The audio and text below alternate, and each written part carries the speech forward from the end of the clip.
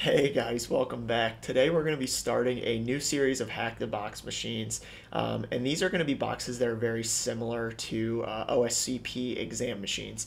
Now I'll uh, put the uh, I'll put the list um, right over here on the screen um, so you guys can check it out.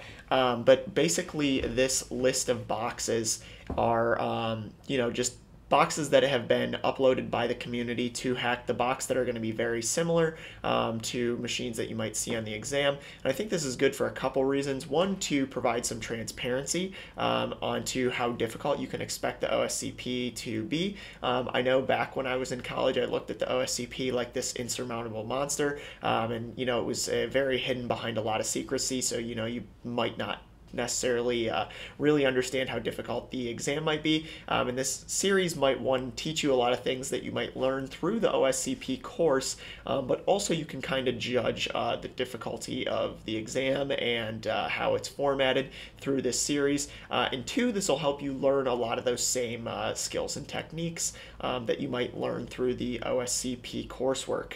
Anyways, um, but today we're going to start out with the box called Lame, uh, and uh, we will jump right into it. Over in the virtual machine, um, the first thing that we're going to do is create a uh, nmap directory inside uh, this directory that I've created uh, specifically for this machine. Um, that will just store the output of our nmap scans.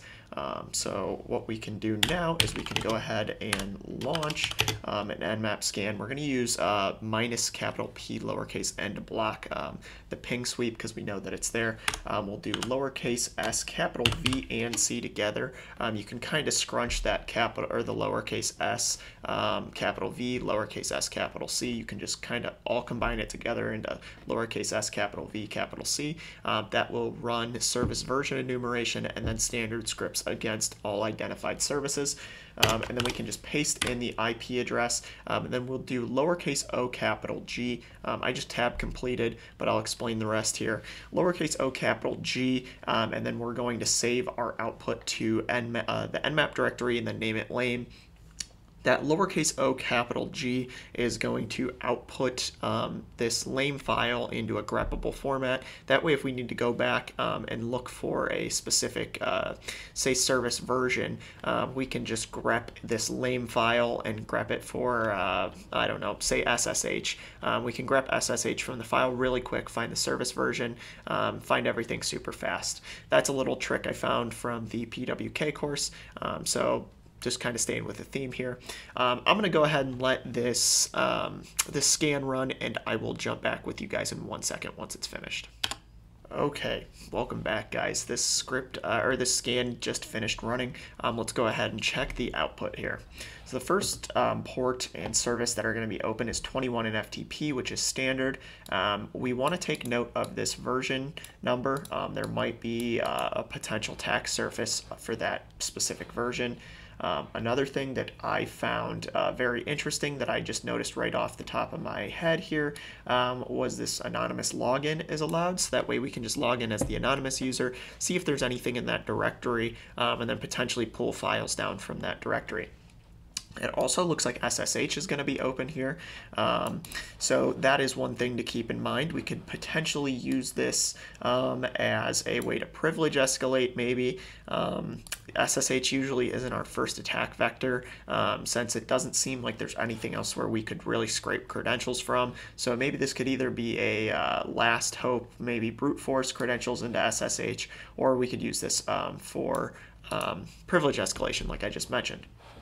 So we'll kind of set SSH to the side. Um, two interesting ports that you'll see in combination with one another here is 139 and 445. That's going to be NetBIOS and SMB. Um, so this is probably running some type of network shares um, that are open to the network, hopefully. Um, but uh, it looks like we have Samba version 3.0.2, um, and then we can see if any of the script information came anything back. Uh, we have the domain domain name, we have a fully qualified domain name, um, we got the system time.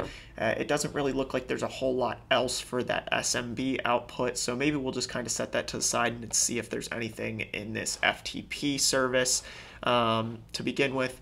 One thing to keep in note when you first uncover something like this, guys, is how you might be able to chain these exploits together. So one thing that I'm thinking of is if we potentially use this anonymous login um, on FTP, we might be able to find credentials that would allow us to get into a share on this SMB host. Um, that's just one thing off the top of my head but uh, we'll kind of go down in the pecking order here and attack FTP first since we know that there's anonymous login enabled. So to do that, we'll just do FTP and then the IP address. Once the name prompts us for it, we'll type in anonymous. Um, you just have to spell anonymous correctly. And then once it prompts you for the password, you hit the enter key, um, and we have a successful anonymous login here.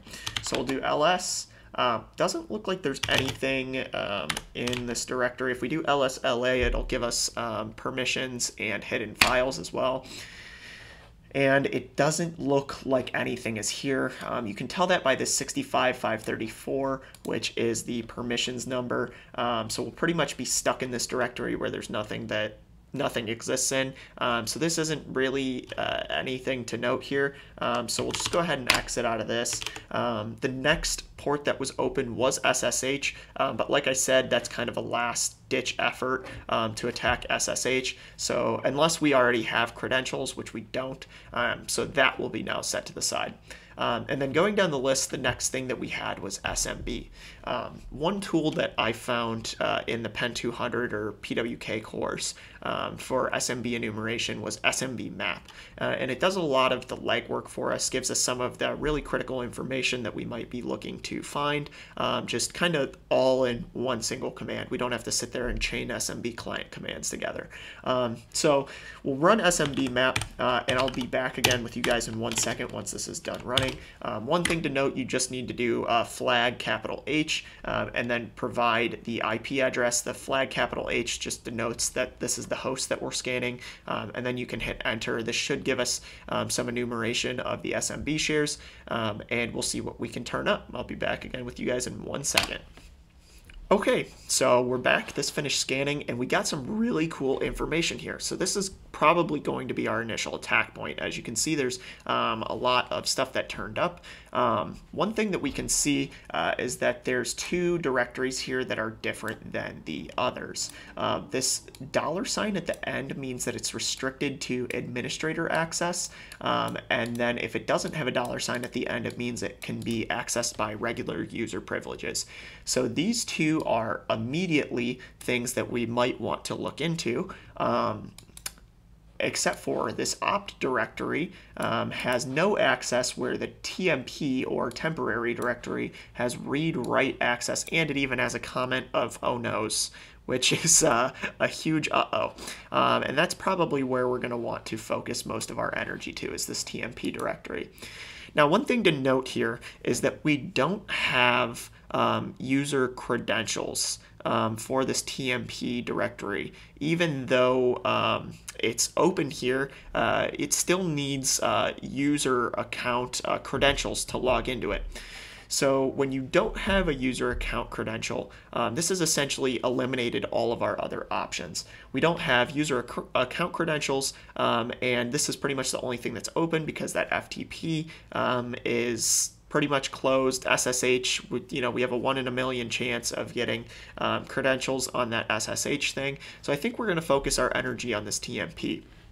Now, once it seems like all those other options are exhausted, what we can do is we can use Searchsploit to potentially see if there's an exploit associated with the service version hmm. of uh, Samba that's running on this machine.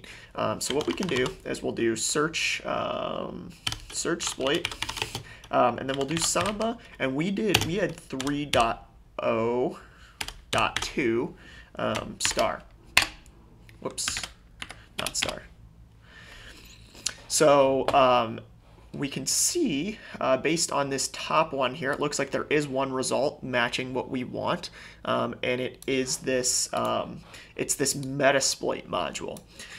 Now, one thing about the OSCP exam is that you're not allowed to use Metasploit, um, and that's so that you just don't plug in a couple numbers here um, and just automatically get a root shell on a machine. Um, it kind of makes you work a little bit more. You need to use some publicly available information. Um, you can't rely on Metasploit. It's banned on the exam. So uh, following the theme of the series here, we're not going to use Metasploit. We're going to exploit this slightly more manually. Um, what we're going to do is we're going to find um, where this um, where this exploit is stored on our machine. Um, so we'll cat that out. Um, and what we're going to do is you could maybe see here, I've already kind of ran through this, but um, we're going to grep for the CVE number, see if there's a CVE associated with this exploit. Usually that um, if there's a uh, command execution vulnerability um, that's going to be associated with the CVE. So let's go ahead and see if we can find the CVE um, and uh, go from there. So we're going to cat this from uh, the user share. Um, it's going to be an exploit uh, DB. Um, it's going to be in the exploits folder, and then you can just grab the rest of the path from straight from there. Um, so we'll paste that in, um, and then we're going to do a space, a pipe, and then we're going to grep for CVE. And as you can see, we have this um, CVE number, and we also have a URL. Um, so we could just jump straight to this URL um, and see if we can get any additional information about what's going on. Um, let's do that really quick and see what this is all about. So it looks like there is um, a configuration option which is not enabled by default um, and it can cause for um, essentially remote code execution. So let's see, since there's not a lot um, on the Samba or on the Samba website, um, let's see if we can search for that CVE number um, in Google and see if there's any other public, publicly available exploits that we could use um, to go through this. So we'll go CVE 2007 2447.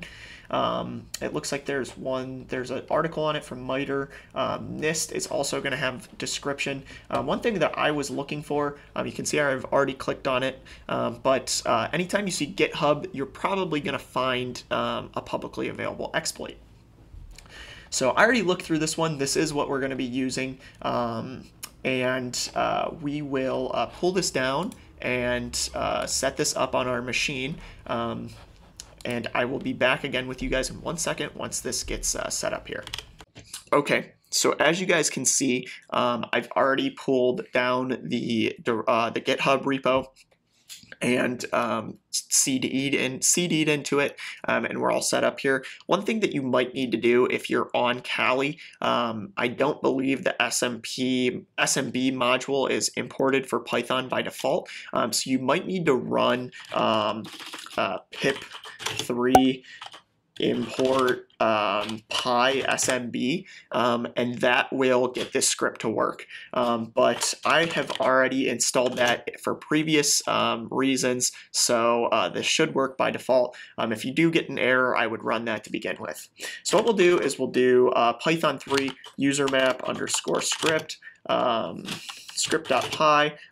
first uh, argument that's going to be taken is the remote host. So we'll go ahead and, oops, don't want that. We'll go ahead and paste in the remote host remote host address, which is 10, 10, 10, 3. Um, we need the remote port, which is 139. Um, and then we need our own IP address. So one quick trick if you're using Terminator, you can do uh, Control Shift O, uh, spin up another terminal really quick, and then do I fconfig. You can grab your own IP address, come back up here, paste that in, and then we need to set a uh, listening port, which is, uh, I like to use 4444, um, and then that is all set. So now what we'll do is we will uh, come back over to our terminal on the bottom here. Um, before we run this, we need to have a listener set up. So we need to do uh, netcat um, dash nlvp uh, and then the port.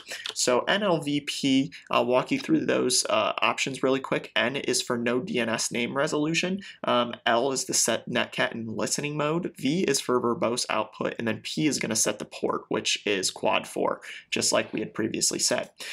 So the reason that we didn't run this right away is because we needed, um, it's going to give us code execution, spawn a reverse shell. Um, to grab the reverse shell, we need something that is listening, and that's what this netcat listener is going to do. So we'll go ahead and set the netcat listener to catch our reverse shell, and then we're going to run this Python exploit. So it looks like it um, ran and we actually have a connection on the bottom here. So now, um, just to be sure that we do have a connection, we can type who am I and it looks like we're actually root. Um, so we're not really going to need to do any privilege escalation for this box in particular. Um, however, one thing that's a good habit to get into um, is to stabilize your shell if you don't have a um, if you don't have a stable shell um, right off the get-go, which you typically won't. So let's go ahead. We'll do this. It'll just give us a little bit more functionality. Uh, we'll be able to see things a little bit more clearly. We're going to use Python for this, so you guys can kind of already see the uh, the power of Python here. Uh, but we'll do Python dash C, and the dash C is actually going to execute the um, rest of the command here that's put in quotation marks, um, just as an inline uh, Python command. So we'll do Python dash and then we're going to import um, pty um, semicolon, and then we're going to do space pty dot spawn and then we'll open the parentheses, double quotes, forward slash bin, forward slash sh, end the double quotes, end our open parentheses, and then a single parenthesis to close off the Python command, and then we'll enter that, and then you guys can see we kind of got a little bit more of a stable shell. So now that we have a little bit more command over the machine, uh, we can ls, maybe do some lsla, see what's going on on this machine here. Um, it looks like we do have a home directory. Um, we also have a root directory, which is definitely something that we want to check out now that we are um, the root user. So we'll cd into root, um, and we'll check this out. We'll see if we have anything. And there it is. So that looks like that is the, uh, that's going to be the root.txt file. Um, I'm not going to uh, cat that out. Um, just for flag sharing purposes, but this is how you would solve this machine. Um, this is also going to uh, kind of wraps things up and is um, uh, kind of our first example at an easier uh, type of box that might appear um, or type of box that might appear on the OSCP um, exam. Um, now, I think this is a great uh, series just to kind of show you guys what an easier machine on the OSCP might look like, um, and then we'll progressively get into some more difficult um, uh, boxes to crack, um, some more difficult techniques and processes. Um, but feel free to uh, comment, leave me some questions, uh, concerns, things you'd like to see out of this series, um, and let me know. All right, and that was it for this machine today, guys. Um, and I will be back again soon with another machine, but thank you guys.